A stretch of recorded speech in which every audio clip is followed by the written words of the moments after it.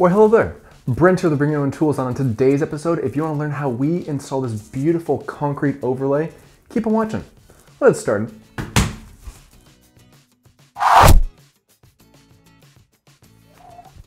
So, it all starts somewhere, and this is where BYOT started. BYOT number one, how to paint a tiled surface. Yep, it's been through the ringer over the last few years, and I knew I was gonna remove this at a certain point, just didn't know when. Guess what? Today is the day. Let's get it demoed. Because this project entails making a mess indoors, I highly suggest taping off the surrounding areas as well as applying a bit of protection on the floors as well as blocking off any surrounding railings if you have that because we don't want a piece of tile to fly off and hit someone in the head as they're coming up the stairs. That's just something you don't want to worry about.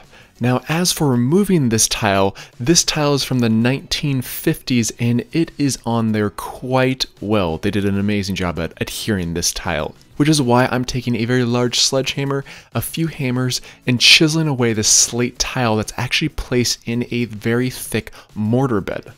Now a very thick mortar bed like this is a bit hard to deal with because you don't really want to rip it out. The mortar bed itself is approximately 2 inches thick and I don't want to completely remove that because that's just a lot of wasted material.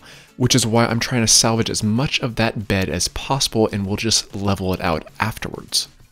The crazy thing with this install is that the grout itself is actually even tougher to remove than the tile. It's on there like concrete on concrete and guess what?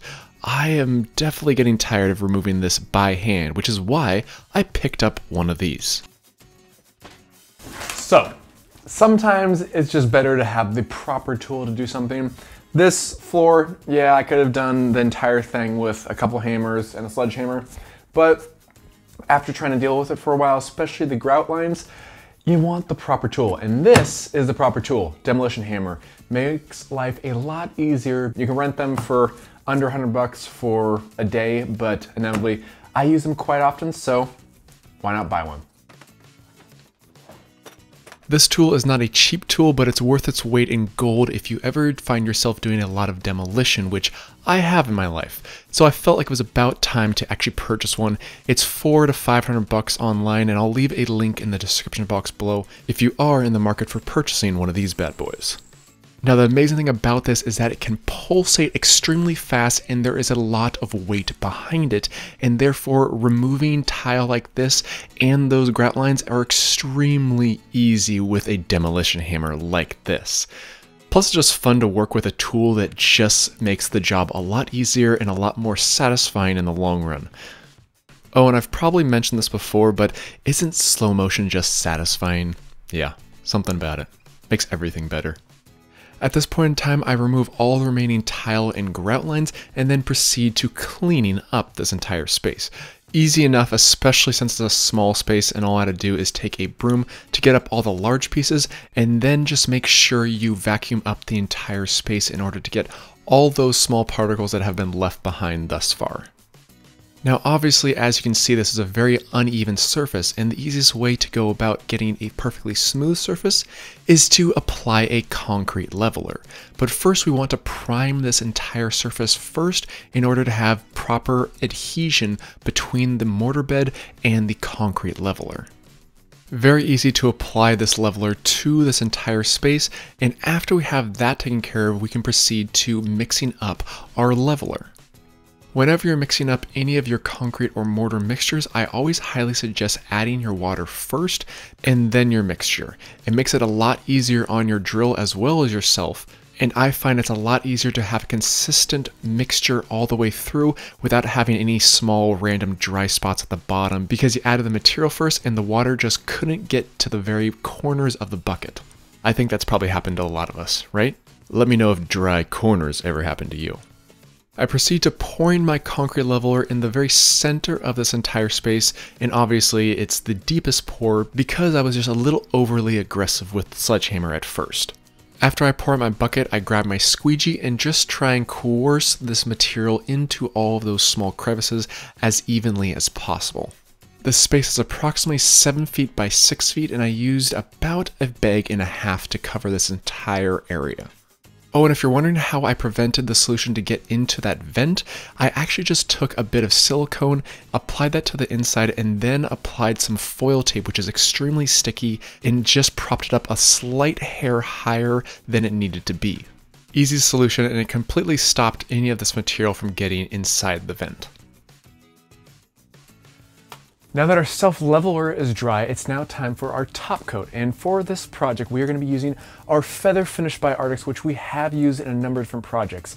This one is going to be no different. We're going to mix it up, we're going to spread it evenly, we're going to smooth it out as much as possible to have a really nice rustic concrete look.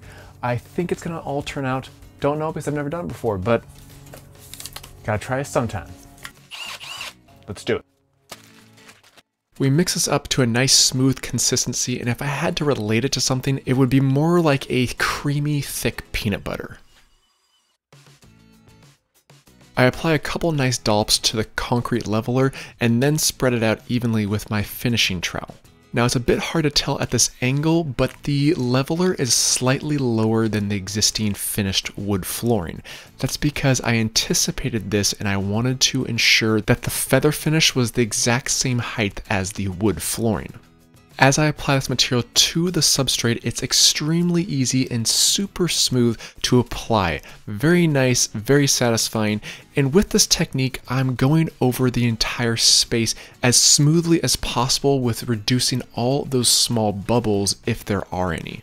Now, in all honesty, I've never done this technique before, but we were going for a more modern, rustic look, and I personally thought that this product was going to be perfect for that type of application because I had used it in the past.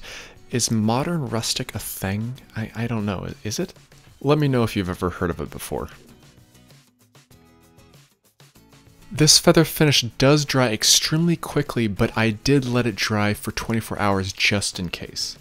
I start removing my painter's tape and as you can see it leaves extremely crisp lines because the edge break between the feather finish and the wood flooring was the exact same height.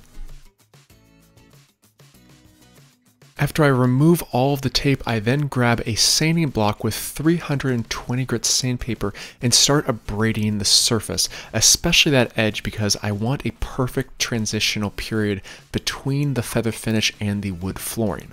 I go over the entire surface with a circular motion to ensure that I have a very smooth finish, but this circular motion also helps prevent any odd streaks that would occur if I was just doing a back and forth motion. This is a quick and easy process, just make sure that after you're done sanding, you go over this entire space with a vacuum just to clean up all of those small particles. As for our seal coat, we are using Behr Low Luster Sealer. Now this gives us a very nice, more semi-gloss look, and it's used for interior and exterior purposes.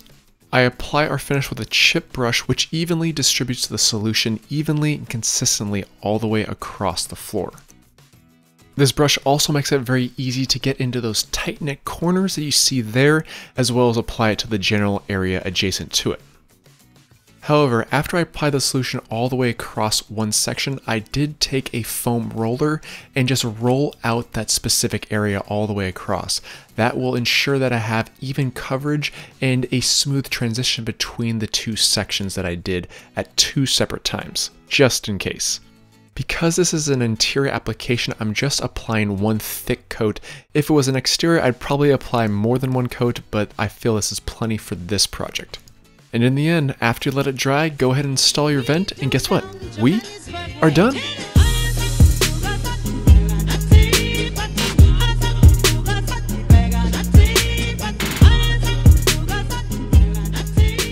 I always love trying new things, especially when they work out, and in my personal opinion, this one definitely worked out. Between the before and the after is an extremely beautiful transformation, and one that makes me especially proud because it shows how far this channel has come between BYOT number 1 to BYOT 111. Oh, and did I mention this floor is now waterproof? Now that is one beautiful, sexy beast. Oh yeah, you